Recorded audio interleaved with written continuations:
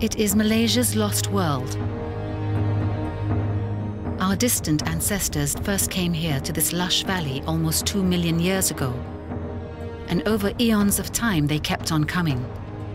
To live in this little paradise, tucked away in the limestone peaks of Perak. They sheltered in its numerous caves and drank from its rivers. They exploited its bedrock to make stone tools refining their skills generation after generation. It was here at one of the crossroads of the ancient world that archaeologists found our most celebrated Southeast Asian ancestor. They call him Perak Man.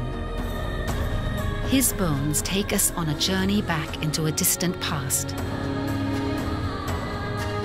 This is the Lenggong Valley, one of the world's most important archaeological sites.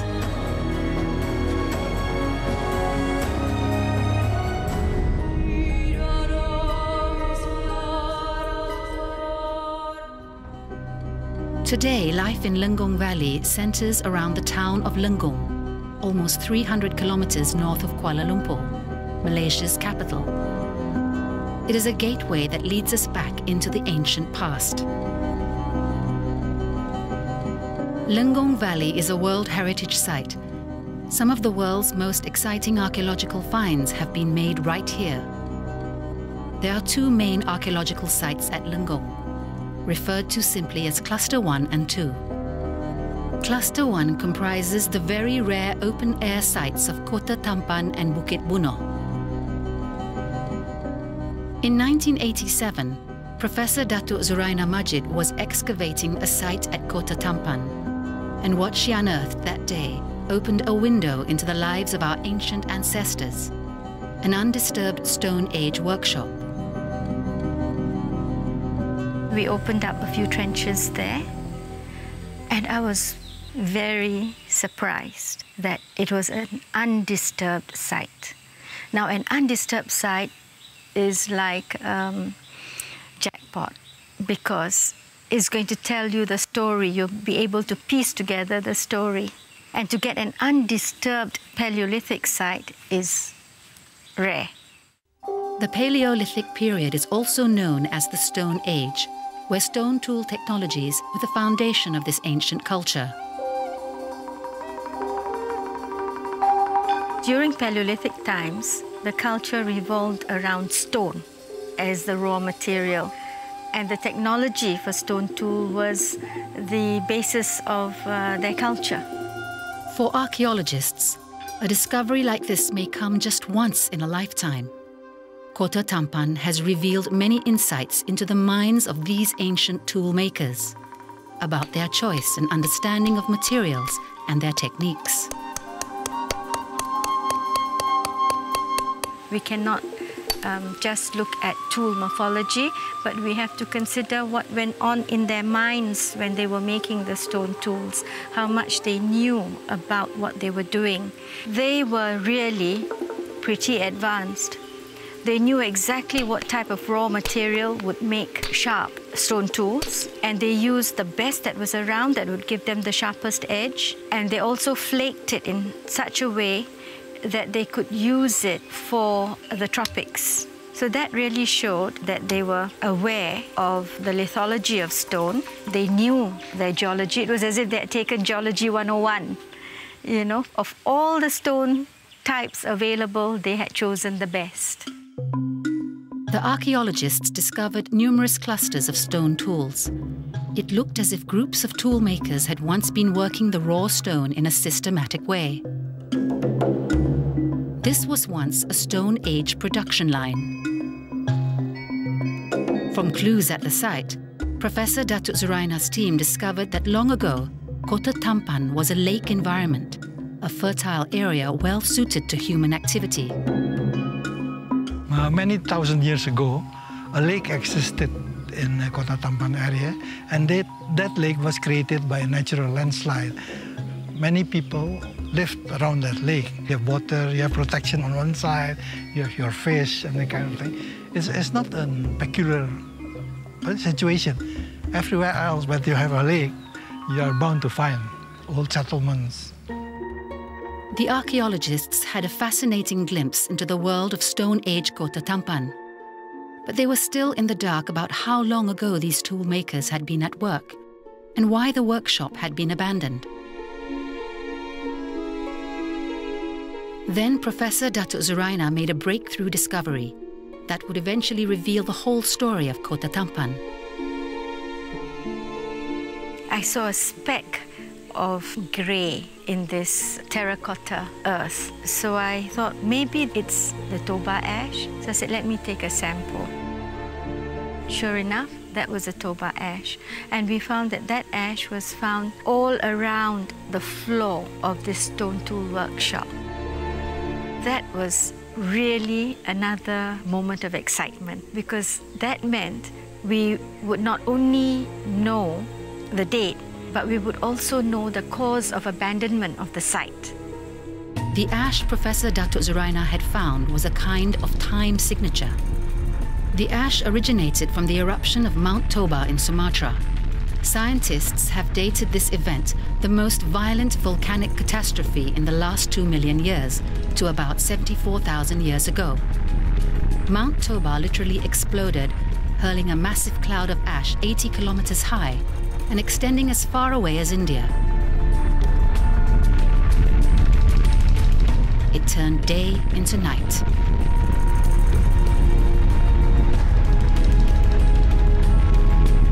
Kota Tampan is just 250 kilometers from Mount Toba, so the eruption would have devastated the world of the tool makers here, forcing them to leave behind their workshop and tools. Professor Datuk Zuraina's discovery sent shock waves across the scientific world. More than 30 archaeologists from around the globe descended upon Kota Tampan to see for themselves the startling evidence of such an ancient Paleolithic site in its original context. One of the scientists fascinated by Dato Zuraina's discovery was human geneticist Stephen Oppenheimer, an expert on human migration. Kota Tampan is one of those places where there are stone tools found and they're in a very specific context. When I mean context, that means the surrounding material. And in the case of Kota Tampan, the surrounding material was the ash of the Toba volcano. Datuk Zuraina has found stone tools in that region uh, which are associated with the uh, ash and the dating of the ash is 74,000 and the dating of the tools has also been done by independent means recently, uh, which agrees in general with that 74,000 date. Now this means if those stone tools were made by modern humans, then modern humans were present in Southeast Asia before 74,000 years ago. Scientists believe that modern humans evolved in Africa and then embarked on a global journey across Asia and into the Malay archipelago and beyond. The dates for the tool-making workshops at Kota Tampan had played a crucial part in the understanding of human migration. All over Lenggong Valley, Malaysian archaeologists are unearthing evidence of ancient lifestyles. Another dramatic discovery was made at Bukit Bunuh, where Dr. Mokhtar Saidin discovered a Stone Age hand axe embedded in a boulder made of a very rare kind of rock called suevite. Pada penghujung 2009, kita temui alat batu di dalam batuan suevite. Suvite ialah batuan metamorf yang terbentuk akibat jatuhan meteoroid di sebuah-sebuah kawasan yang menyebabkan batuan asal di kawasan berkenaan lebur membentuk batuan baru. Rocks like this can be dated and they determined that the hand axe itself had been made at a later date. The results astonished archaeologists. Selepas kita hantar pentarihan, dia memberikan tarikh 1.83 juta tahun. Ini menunjukkan telah ada satu kelompok manusia awal sebelum 1.83 juta tahun yang merupakan tarikh. This remarkable time span makes the Lenggong Valley one of the most significant Paleolithic sites in the world.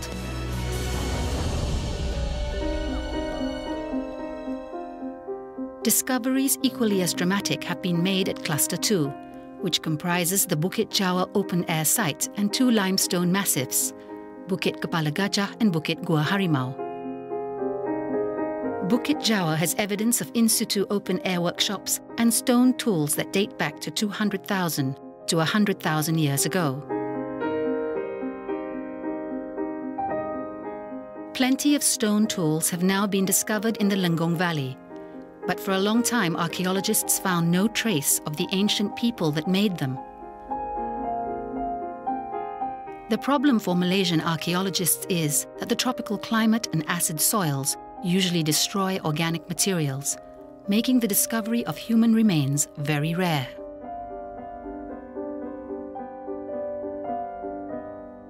But the team did not give up. They concentrated their efforts on the Bukit Kepala Gajah Massif, a karst limestone outcrop riddled with more than 20 caves.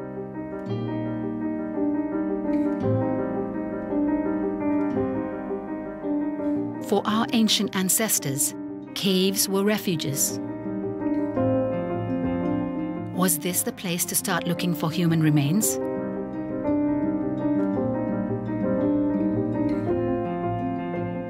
One cave in particular caught Professor Datuk Zuraina's attention. It is called Gunung Runtuh. It is 150 meters above sea level with the luxury of three entrances.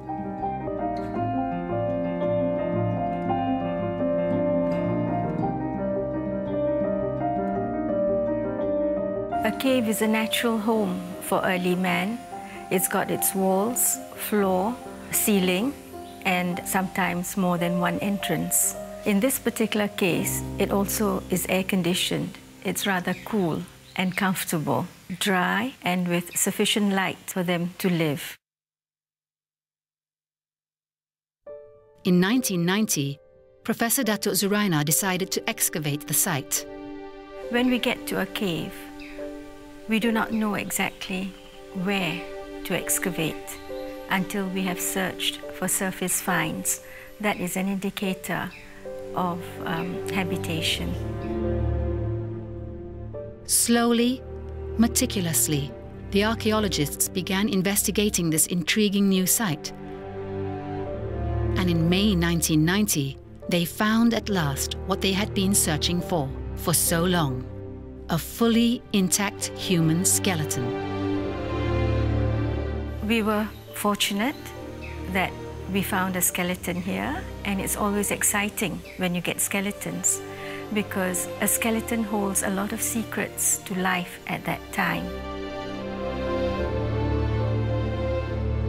The bones were fragile, brittle, and broken. They had to be handled with care. Professor Datuk Zuraina realized at once that this was a groundbreaking find. So as the bones were tenderly removed one by one, the position of every other artifact was precisely recorded. You know, when you see a skeleton, you really don't know how significant it's going to be until you study it. And the more you study it, uh, the more details you get, and you get stronger evidence. And then when you get the total picture, then that's the exciting moment. That's um, Eureka. Professor Datuk Zuraina assembled an international team to analyze the find and unravel its mysteries. The lead paleontologist was the renowned Indonesian professor Teuku Jacob. Bones and teeth uh, tell a lot of story about themselves. That if we can understand the language of the bones, then uh, there are many things they can tell you. One thing the bones told Professor Jacob was that this enigmatic individual was a male. So he got a name, Perak Man, after the Malaysian state where his remains had been found. As Jacob continued his analysis, he realized that the bones had a powerful human story to tell. And I saw uh, the hand bones. It's something uh, uh, unusual because you have a very short uh, middle phalanx, especially on the left side, you see. As an expert anatomist, Jacob understood immediately what these clues implied. So this anomaly is called uh, brachymesophalangia. This anomaly is rather rare, uh, even in uh, living population. And then in archaeological material, I have never seen one reported. Brachymesophalangia is an inherited genetic disorder that causes fingers and limbs to develop differently. Not only is the disease very rare in modern people, evidence of it has never before been found in bones this old. The left arms and the left leg are shorter than the right ones, so uh, his gait is a little different because of the leg bones are not equal. The discovery that Perak man suffered from this rare disease adds significantly to our knowledge of medical history. Jacob made another startling discovery. Perak man had a distinctly curved spine, which could have been caused by his gait, but also suggested he might also have been afflicted with cerebral palsy. Perak man was a challenged individual, but his bones tell us that despite his disabilities, he lived till a ripe old age, between 40 to 45 years old, almost twice the average lifespan then. What could explain this man's long life? According to Jacob, the most convincing explanation is that the Perak man was well cared for by his community. He might even have been revered as a special individual. The evidence for this is by the way he was buried.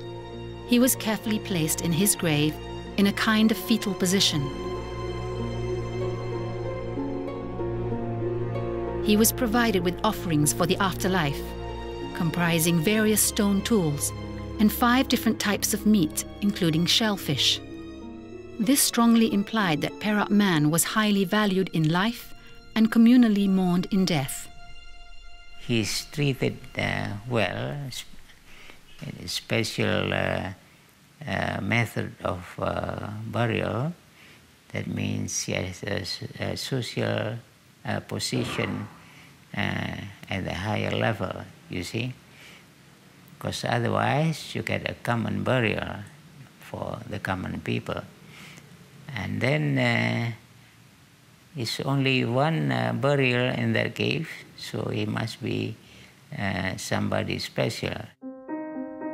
The discovery of Perak man's last resting place reveals for the first time in Southeast Asia the funeral rites of one of our Paleolithic ancestors.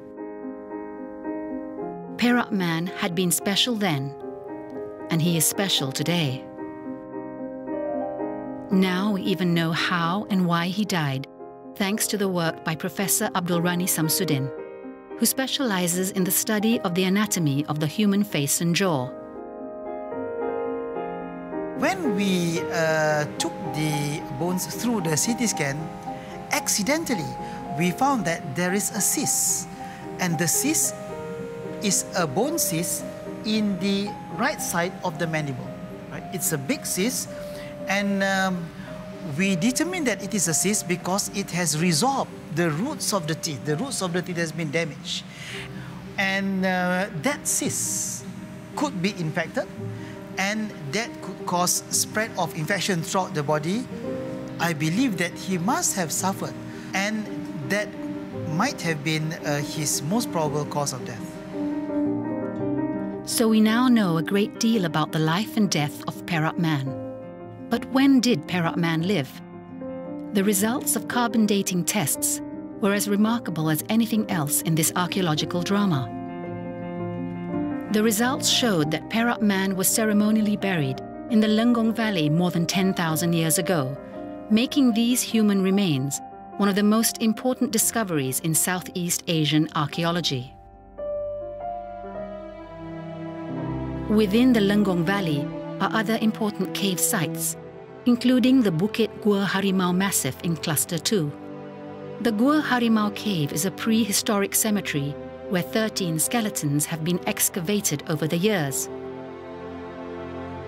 They date between 4,900 and 1,700 years ago, from the late Neolithic to the early metal period. A variety of burial items have been found, including earthenware vessels, stone tools, ornaments, and bronzeware. The bronzeware finds at Gua Harimau represent the earliest bronze finds in the Malay Peninsula. For more than 25 years, Professor Datuk Zuraina Majid and her team have worked tirelessly on the many different sites in the Lenggong Valley, revealing a human story spanning close to two million years. It is the longest cultural sequence in one locality outside Africa. The discoveries made here have uncovered a wealth of information about the Paleolithic, Neolithic, and Metal Ages in Southeast Asia. For archaeologists the world over, the Lenggong Valley has become an important reference site for Paleolithic stone tool technology. Here we witness evidence of the terrible power of nature. The Toba eruption, which allowed archaeologists to decipher the cause and dates of abandonment of the stone tool workshop of Kota Tampan. The open-air site of Bukit Bunuh records the earliest hominid presence thus far known in Southeast Asia at 1.83 million years ago, with the discovery of hand axes embedded in a rock that resulted from a meteorite impact. It was here in Lenggong Valley that our ancestors buried a special individual, whose remains speak to us today of his life and death in the Stone Age. Research in the Lenggong Valley began in the 1980s and it has been uh, continuous and in-depth with very major uh, discoveries that has given us an understanding not just of our own prehistory but of the prehistory of the region and contributed towards an understanding of early man in the world. In 2009, the Commissioner of Heritage, Professor Dato Zuraina, decided to nominate Lenggong Valley as a World Heritage Site. It is not easy to nominate a site to be on the UNESCO World Heritage List. It is a very tedious process, it's a very long process, and not an easy process. We have to have strong justifications for its world significance. Now that's very key. And uh, we have to write a dossier, which is like writing a PhD thesis. And then we have to be evaluated, and maybe many years to receive the um, World Heritage uh, inscription. The people of Lenggong Valley were very excited about the UNESCO submission and held special prayers so that their valley would be nominated. On 30th June 2012, the Lenggong Valley was inscribed as a UNESCO World Heritage Site during the World Heritage Committee meeting in St. Petersburg in Russia. The UNESCO listing is testimony to the achievements of Malaysian archaeologists and scientists who have brought to light the remarkable cultural treasures of the Lenggong Valley. With recognition comes responsibility to make sure that the site meets global standards for the protection and preservation of its heritage. If we look at other heritage sites in the world, it's um, a tourist attraction and um, the number of tourists will definitely increase there's a lot for the people to benefit too because the place will have to support the tourists that will visit the site. And uh, most of all, the place will be protected for us and for mankind. The many groundbreaking discoveries made in the Lenggong Valley make it one of the world's most important archaeological sites. The Lenggong Valley is important not just to us, but to the rest of the world. The Lenggong Valley, a UNESCO World Heritage Site.